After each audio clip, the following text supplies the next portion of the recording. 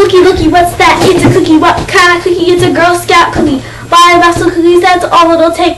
To have Girl Scouts in this generation, it's not a fake. To have them do more, and show more, and learn more, and know more. Now this still runs in January to February, so jump right in, and don't be worried. Buy a box of cookies for $3.50 each. So Girl Scouts can learn about nutrition and animals on the beach.